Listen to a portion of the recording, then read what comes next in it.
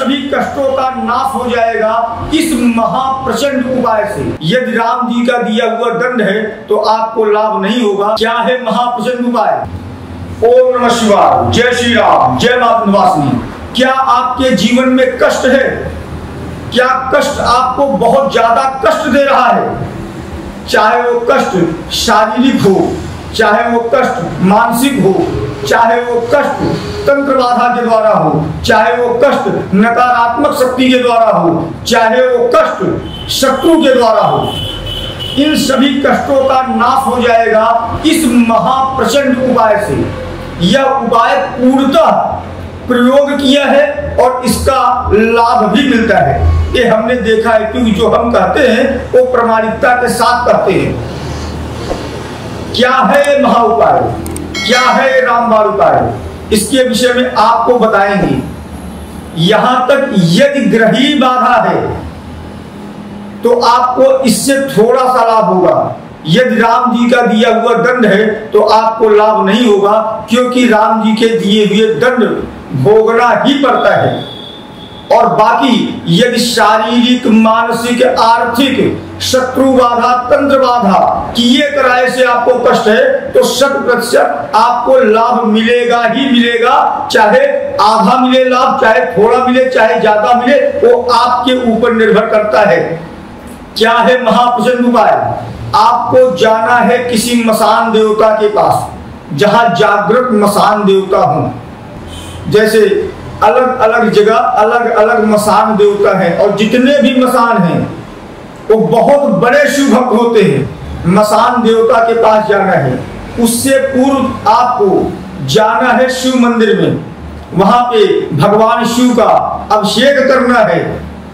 ओम नमः शिवाय का जाप करना है और उसके बाद अपने सारे कष्ट को लेकर मसान देवता के पास जाना है।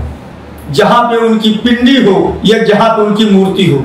और वहीं बैठ के आपको अपने मन की, अपने जीवन की सारी व्यथा, सारी पीड़ाओं को कहना है और बैठ के वहीं पे शिव तांडव स्रोत का पाठ करना है। ग्यारह बार। और मसान देवता को उनका भोग दो लड्डू, एक सूखा गरी का गोला और वहाँ पे मसान देवता को अगर शराब चढ़ती है तो एक क्वार्टर शराब चढ़ा देना है।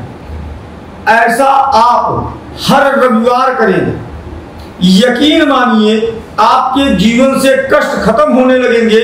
जिस समय मसान देवता आपके मुख से शिव की भक्ति सुने और आपके ऊपर कृपा कर दिए, उसी समय से शत्रु का किया हुआ तंत्र बाधा दूर होने लगेगी। क्योंकि जो मसान होते हैं, वो गुरु तत्व होते हैं, वो विद्याधारी होते हैं, वो तावधारी होते हैं यदि उनके कान में आपके माध्यम से शिव की स्तुति पहुँच गई और प्रसन्न हो गए।